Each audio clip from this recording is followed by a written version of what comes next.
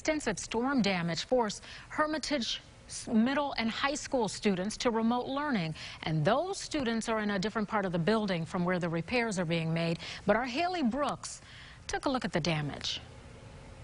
Uh, my buddy that called me, he told me the roof is blown off the school. And I was like, no, you got to be kidding me. Hermitage School District still assessing the damage left behind after straight line winds tore off the roof. When it started lifting up, it just rolled it right back. And I've never seen nothing like that in my life. Matt Hewitt is the district's facility manager. He was the first one to step inside the school after the roof was ripped off Friday. Right here is our computer lab.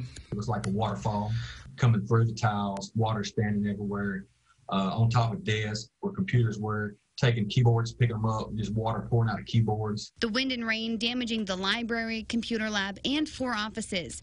Then Saturday came the second round of storms. It was really kind of devastating. And those winds did more damage to the wing of the building that had already been damaged. And then also um, pulled the roof off of a second wing of that building and did more damage as well. Superintendent Tracy Tucker says days later there's still standing water in the building and the extent of the damage is unknown. But they're still planning on finishing out the school year strong. Just get the ball rolling to get this thing up and ready and hopefully by uh, the fall, uh, housing our classes back in that building. Hmm. Well, as of right now, the district says it doesn't know how much it'll cost to repair the damage or when those repairs will be complete. The discussion